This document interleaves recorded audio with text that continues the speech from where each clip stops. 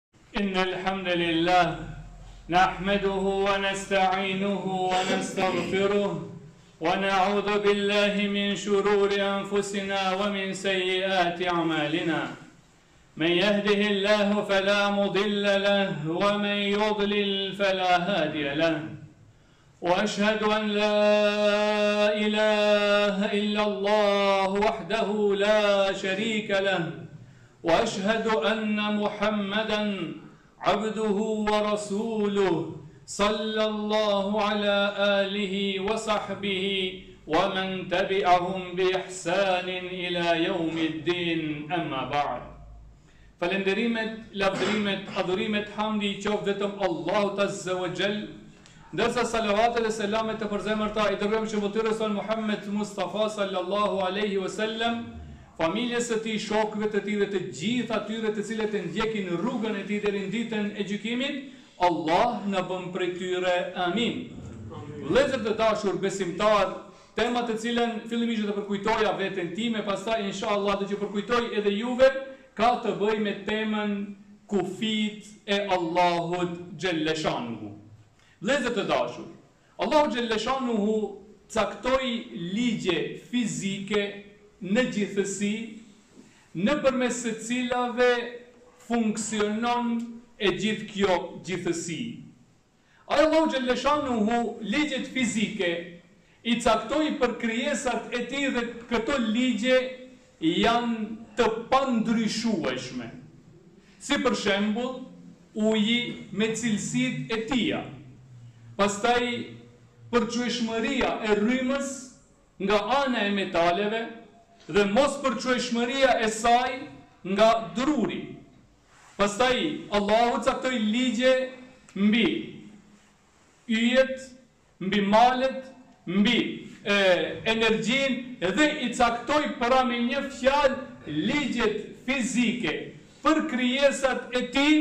ata janë të pandryshueshme dhe i caktoi se vetëm nëpërmes atyre funksionojnë krijesat e Allahut xhelleshanuhu.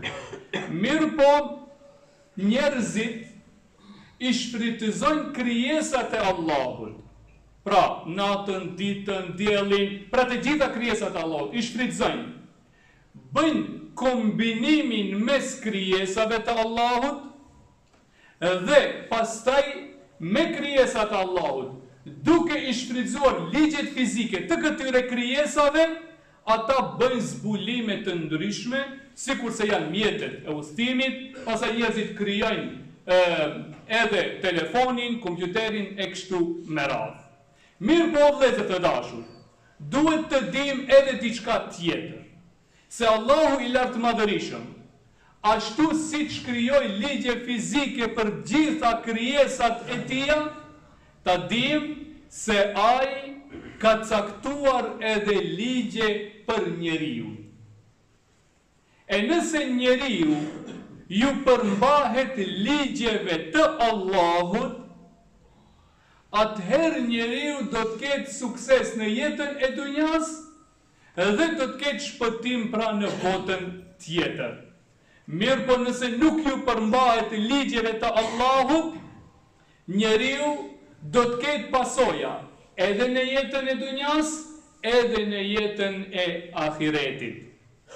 Pra, me pasimin e ligjeve të Allahut e që janë urdhëresa të Allahut xhelle shanuhu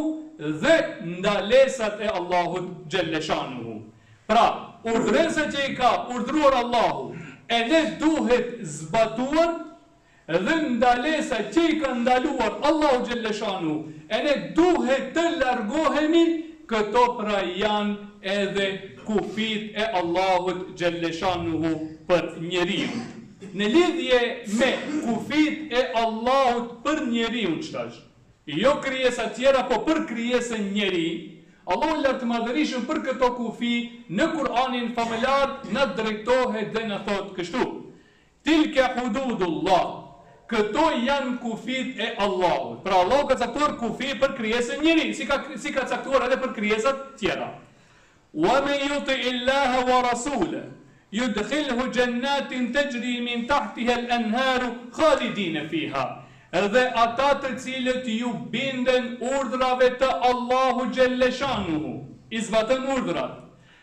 Dhe ndalojnë në ndalesat e Allahu xhelleshanuhu,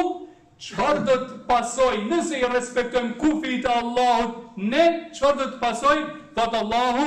Yudkhilhu xhennatin tajri min tahtihel enhar, Allahu do t'i banojë ata në xhennetet e tija nën të cilat rrjedhin lumenj. Dhalikel fawzul adhim, e ai që i respekton këto kufij, le ta dijë që ka fituar fitoren më të madhe, pra do të fitojë edhe në jetën e dunjasë suksesin, edhe në jetën e ahiretit do ta fitojë shpëtimin.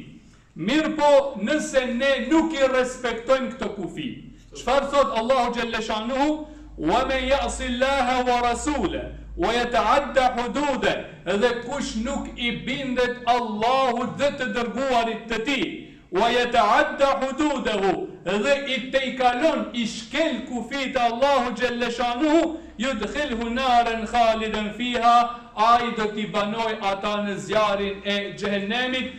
Nëse i shkelin kufinin, kufinin kryesor që është mosbesimi, ata pra do të dënohen aty të përhershëm, wa lehu adhabun muhin, dhe të tillët do të kenë pra një dënim poshtërues dhe nënçmues për arsye të tejkalimit të kufijve të tyre.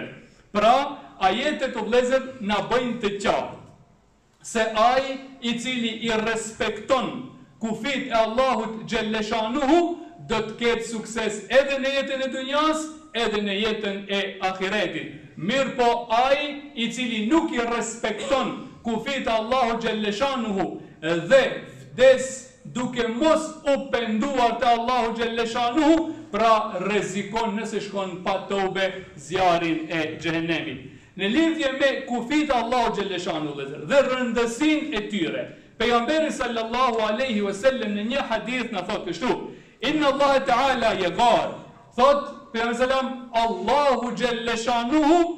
xhelozon, hidhrohet, nuk duron,